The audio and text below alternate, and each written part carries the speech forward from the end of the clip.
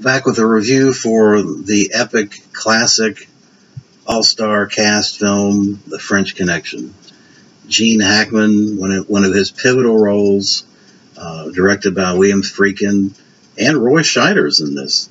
Uh, Roy Scheider and Gene Hackman are playing two Brooklyn cops who basically bust up a multi-year, multi-million dollar uh, heroin trafficking operation coming out of France and into New York through. Uh, they use basically cars, use stuff the heroin in the running boards of the cars, ship them over, and then put the money in the running boards and send it back. That went on for years. True story. Uh, Gene Hackman plays Popeye Doyle, who was based on real life police detective Eddie Egan. And then Roy Scheider plays uh, his partner Sonny Grosso. Uh, and uh, they really are fantastic in this. And I think you got to attribute a lot of it to William Friedkin's docudrama style direction. I mean, if you if uh, if you ever want to see the inner workings of the '70s in New York in the '70s, uh, this film covers it. I mean, you can go on Wikipedia and look. I mean, uh, every little hole in the wall in New York it pretty much gets coverage. Uh, it's a fascinating view of New York in the in the early '70s, and it's a fascinating, intelligent story. Um, all the better because it's true story. Uh, the fact that th- these guys stumbled upon a hundred million dollar heroin bust and broke it up uh, is a real testament to their to their intuition because Popeye Doyle or Eddie Egan in reality uh, worked on intuition a lot. Uh, he was a um, he was a one man force within the police force narcotics division, uh, and he and he made a lot of enemies.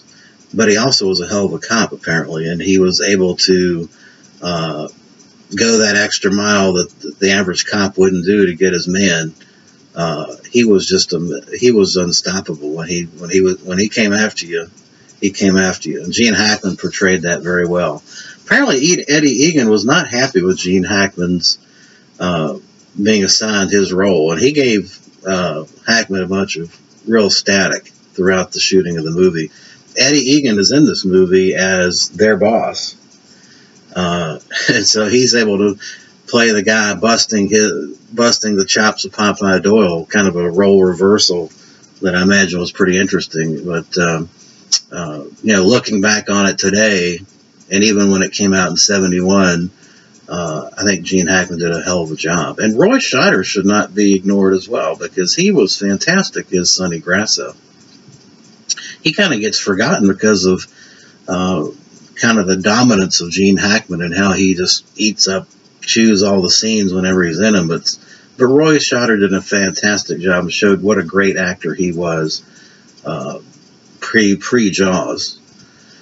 Uh, these Eddie Egan, played by Gene Hackman, uh, were basically basically narcotics agents that were in and around the Brooklyn area and busting a lot of small time distributors and pimps and hustlers and that type of thing. Uh, and they just, by happen chance, sensed at a nightclub uh, something wasn't right about a couple guys, and they started following them and following them, and that led to just kind of stumbling upon this huge heroin trafficking operation. Uh, and I don't know that any individual cop would have had the wherewithal to do what, what these guys did. Uh, the greatest scene in this, of course, is talked about a lot, is the car chase scene when uh, basically one of the, the hitmen for the, the French uh, is trying to escape from uh, Popeye Doyle on a train, subway train, and uh, Gene Hackman, without a car, basically flags down a private citizen, grabs his Pontiac, and just goes flying under the Brooklyn uh, subway train rails, chasing after him at full speed. And in theory, I guess even in, in practice, it can be done. There was a lot of research as to whether a, a, a car going 70, 80, 90 miles an hour could actually keep up with a subway train. uh, it is feasible, and, and they I guess they proved it in this film. That whole scene, of course, is a famous most one of the most famous car chase scenes in history, movie history, was apparently done without any kind of license and it was done at the first, uh, right at the start of the morning's rush hour traffic because you've got uh, basically people that, unbeknownst to them, getting in their car going to work, crossing into this movie scene with this racing car uh, traveling 70, 80, 90 miles an hour.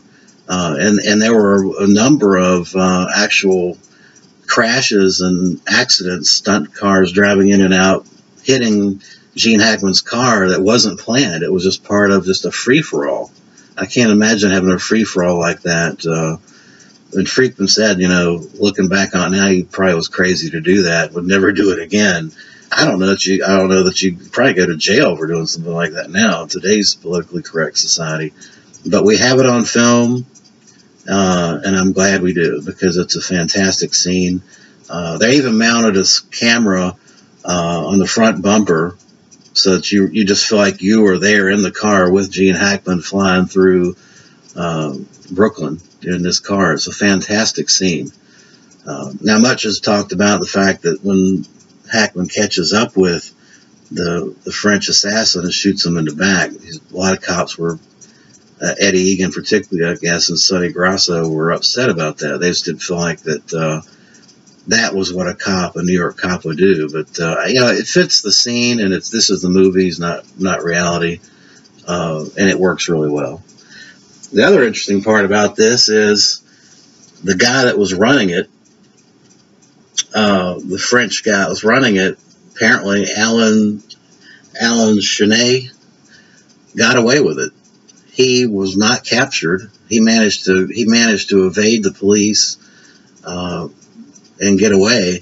And everybody that was captured in the in the final sting in this movie uh, got light sentences or suspended sentences. Or I mean, it's very strange, almost like these guys, almost like somebody was bought off. But uh, I guess we'll never know.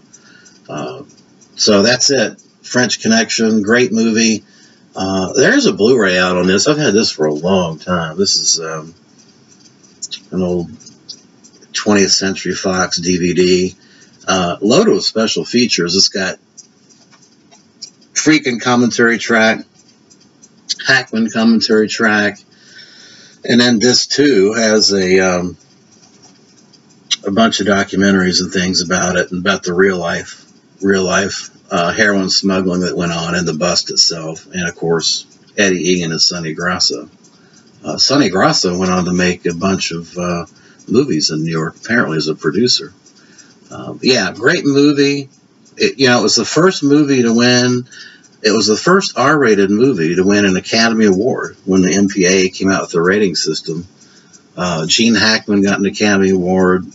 Uh, William Friedkin got an Academy Award, and this is one of the few instances when you look at the Academy Awards. I think that's I think it's a basically a popularity contrast contest uh, and a and a political agenda always follows these awards there the Oscars, but in this case, they got it right.